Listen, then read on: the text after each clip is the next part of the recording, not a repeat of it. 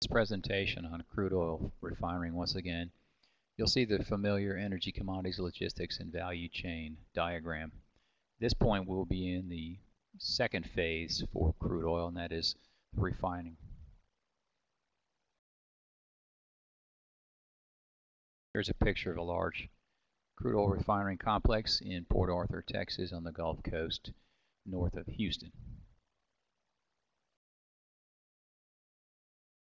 This is a map showing the distribution of crude oil refineries throughout the United States. You can see they are divided by PADDs, and you'll notice the single largest concentration of refineries are along the Gulf Coast stretching from South Texas all the way across including Louisiana and the Mobile Bay area of Alabama and Mississippi.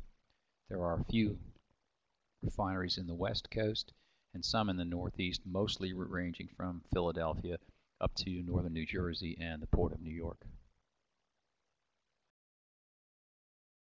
Here is a diagram showing the overall process in terms of the movement of the crude oil. You'll see the tankers uh, offloading to the onshore refineries. You have the offshore rigs either drilling, the initial drilling for uh, crude oil, or the production rigs, which continue to produce the crude oil from uh, wells that have already been completed. There are also some barge traffic uh, on the seafloor. You'll notice multiple wells being connected to a single uh, delivery point, which then pumps the crude into the pipelines to be brought on shore.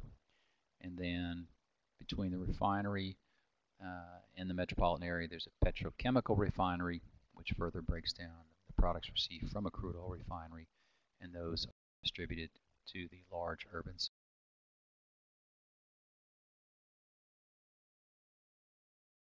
Here's a simple diagram of the interconnectivity between crude oil refineries and petrochemical refineries in the Port Arthur area.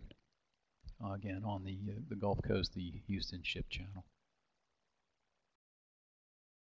Here are the products typically made from a single barrel of crude oil shown in gallons. You can see the single largest portion is gasoline, followed by diesel. Then you have a multiple of other products, and then jet fuel. A small portion being the heavy fuel oil, or what we call the residual fuel oil. That is the oil that's left over that can't be further broken down into a usable product. And then we also have the liquefied petroleum gases, or LPG. refining process is basically broken into two larger processes, one of distillation and one of conversion. When we think of distillation, picture heating some type of a, of a liquid up and then cooling it off. There's always going to be some type of moisture given off. Uh, that's the condensation process. Uh, refining and processing of natural gas is very much a process of condensation. Heat something up, cool it down or increase the pressure on something, which, as we all recall from high school physics, also increases the temperature. And then when you lower the pressure, have an immediate pressure drop, you lower the temperature, and again, condensate liquids will fall out during that process.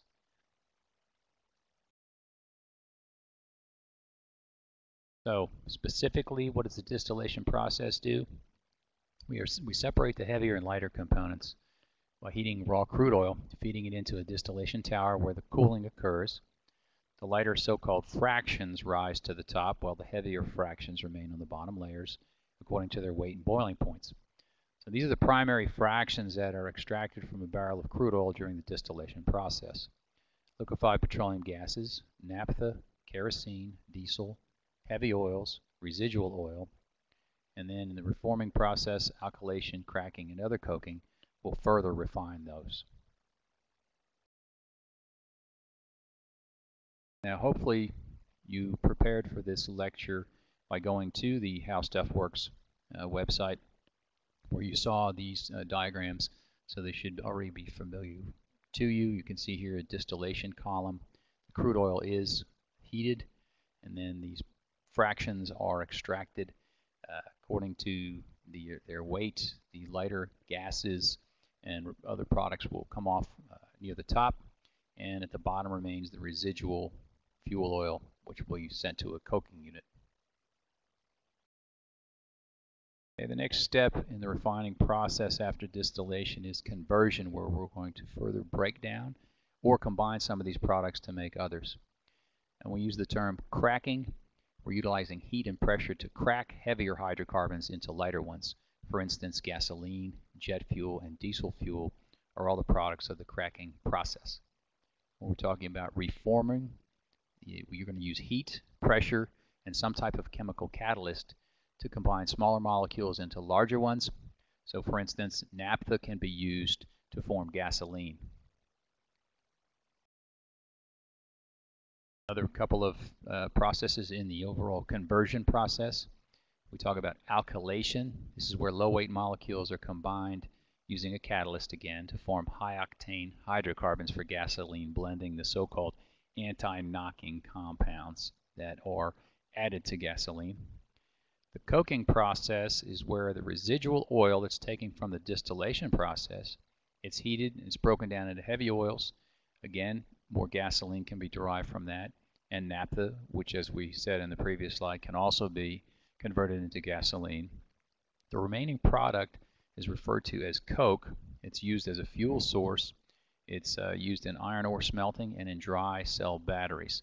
So if you ever opened up a dry cell battery, the black powdery substance in there is what we call coke, and it is derived from the heavy fuel oils and the uh, end of the process of distillation of crude oil.